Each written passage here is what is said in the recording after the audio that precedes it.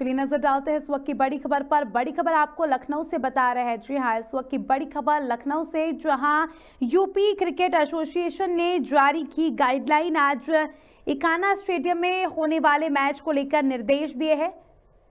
शाम चार बजे से ही स्टेडियम में दिया जाएगा प्रवेश। बड़ी खबर आपको बता रहे लखनऊ से, जहाँ यूपी क्रिकेट एसोसिएशन ने जारी की गाइडलाइन। आज इकाना स्टेडियम में होने वाले मैच को लेकर निर्देश दे दिए हैं। सुरक्षा के भी पुख्ते इंतज़ाम यहाँ पर किए गए हैं और शाम चार बजे से ही स्टेडियम में प्रवेश दिया जाएगा और दर्शक जो है क्रिकेट मैच का आनंद उठा सकेंगे।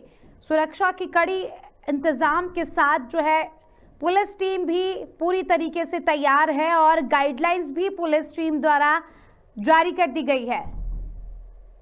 तो लखनऊ से ये बड़ी खबर आपको बता रहे हैं, जहाँ क्रिकेट एसोसिएशन ने गाइडलाइन जारी कर दी है और इकाना स्टेडियम में जो मैच होने वाला है, आज चार बजे से जो मैच की शुरुआत होगी, इसको लेकर पुलिस भी सतर्क हो गई है। साथ ही गाइडलाइन भी पुलिस द्वारा और अधिकारियों द्वारा जारी कर दी गई है।